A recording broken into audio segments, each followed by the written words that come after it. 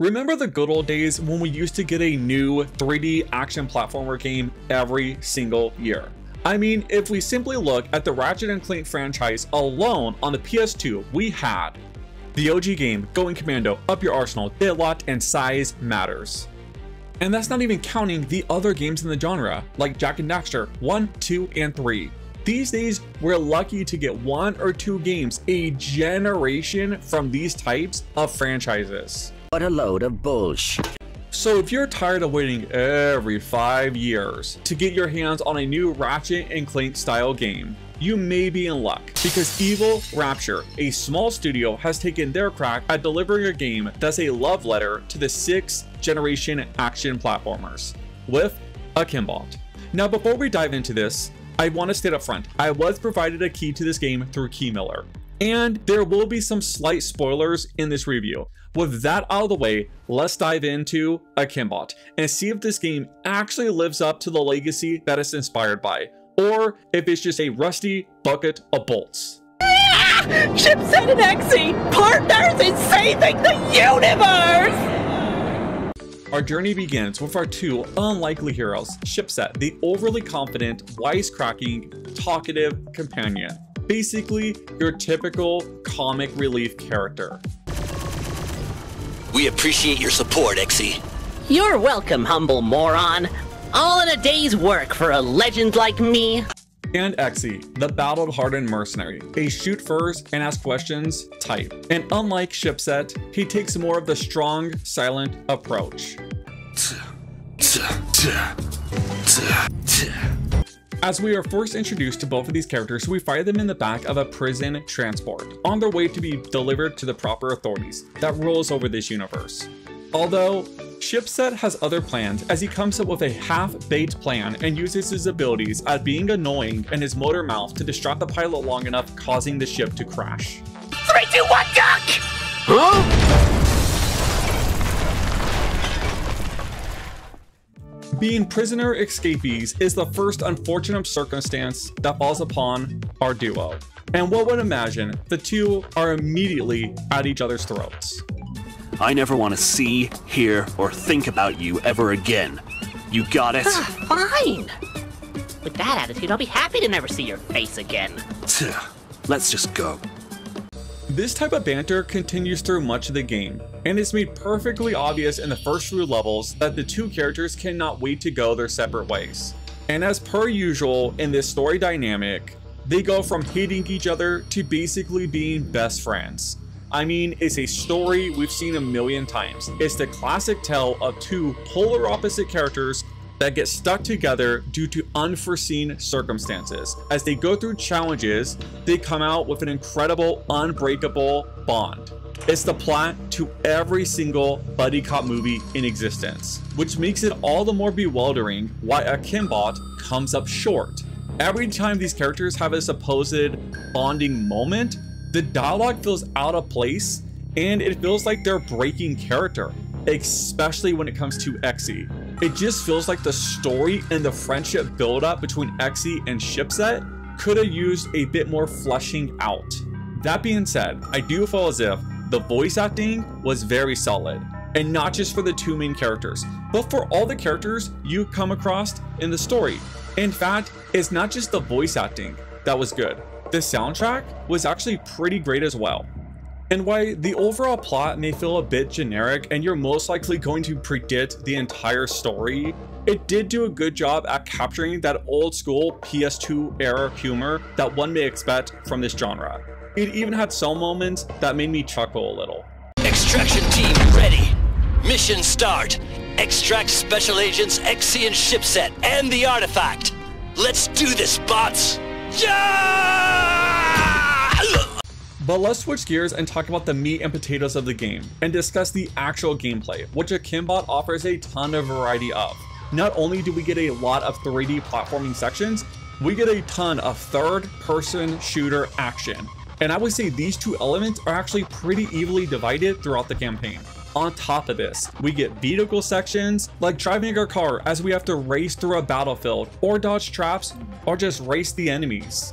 And a car is not the only wheel we get behind. We even get sections where we take to the stars and fly a spaceship, as we have to dodge and weave our way through asteroid fields. Or dogfight enemy ships. Hell, we even get to take our hand at tackling a big Star Destroyer sized battle station. There are a ton of minigames tossed into the fray as well, mixing up the action even further. However, this is a very on rails experience. Basically, Chipset sums up the entire game in the first 10 seconds. So where are we going anyway? Straight forwards! What other way can we even go? The Kimbot feels as wide as an ocean and as deep as a puddle. The platforming is extremely linear. When you want a wall run, you simply snap to a predetermined wall on a predetermined path. When you want to use the grappling hook, is on a predetermined point and basically flings you in a very specific direction. When you fly in your ship, it's on a set path. You could control where you shoot and how you dodge incoming debris, but you cannot alter the ship's course. And when you drive in the car, you're on a track. If you try to go off the beaten path, you usually just die. Personally, I don't mind a game that's more linear and more on the rails. I'm just forewarning you guys that this is what the game is. So if you're expecting a ton of exploration and more deep gameplay mechanics, you're going to be severely disappointed. But lastly, let's talk about the other major gameplay aspect in this title, and that would be the gunplay. Ambassador is still waiting for you at Echo Point. Considering the, uh, situation, you'll surely need this. Now this I can get behind. Ooh, big gun. And I'll, I'll admit it, the gunplay actually felt half decent. It was pretty enjoyable, mixing up shooting action with the really cool dashing and double jump abilities that Exe gets. However, there's just an over lack of weapons. Throughout the story, you come across four different guns, an assault rifle, a sniper rifle, a rocket launcher, and a minigun. And I know what you're thinking. You're probably thinking, hey, four weapons is actually not bad, especially for a game that's a shooter and a platformer. However, you're most likely only going to be using one or two of these items and ignoring the other ones completely. In fact, I found the sniper rifle to be the best weapon where I barely even touched the other three. Now, on top of the main guns, you also get access to a special weapon. But once again, there's an issue. The ammo on the special weapon drains incredibly fast that I hardly even bothered with it. Which is really bizarre because it feels as if the devs attempted to make these special weapons a main focus of the game. Hell, you even come across shops, and one would think this is where you could buy additional weapons, upgrades, grenades, etc. Hell, even Exe acts as if that's what the shop is meant to be. Providing us something of actual use. Perhaps weapons, grenades, anything? Except the shop does none of that. The only thing it does is set it up so you go buy other additional special weapons and then update them, which really doesn't make a ton of sense because you only could equip one special weapon type at a time. And how do you swap to a different unique weapon? You have to be at the shop.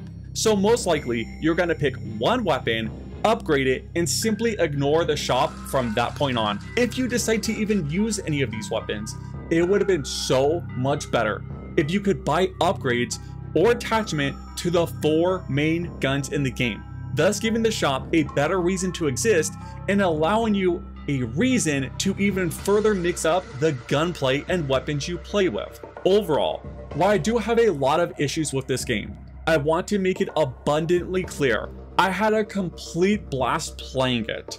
It may not be the new king of the genre, but it is a title I do recommend. For 20 bucks, it does have a lot to offer. Just go in expecting a very linear on rails experience.